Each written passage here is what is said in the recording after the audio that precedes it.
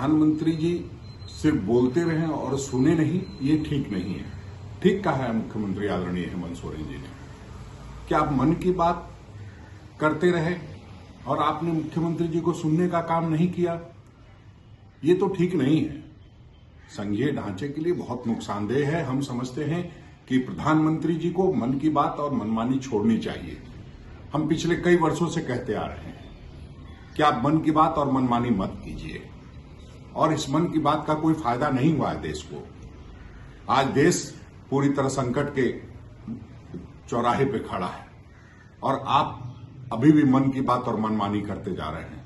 संघीय ढांचे को नुकसान मत पहुंचाइए। मुख्यमंत्री और प्रधानमंत्री के संबंध बेहतर हो, उस पर काम कीजिए। ये आप चाहे बंगाल हो, चाहे झारखंड हो, ऐसे कई राज्य हैं जहाँ आपकी सरकार नहीं है, वहाँ आप सौतेला व्यवहार करते हैं।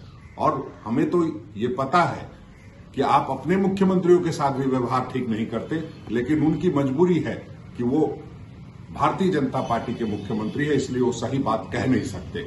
लेकिन हम मजबूर नहीं हैं, हमारे मुख्यमंत्री मज़बूत हैं, और जब भी कोई आप बात करेंगे तो निश्चित रूप से ये ध्यान में रखिएगा कि लोकतंत्र है यहाँ पर और लोकतंत्र में तानाशाह की तरफ़ बात नहीं होती है।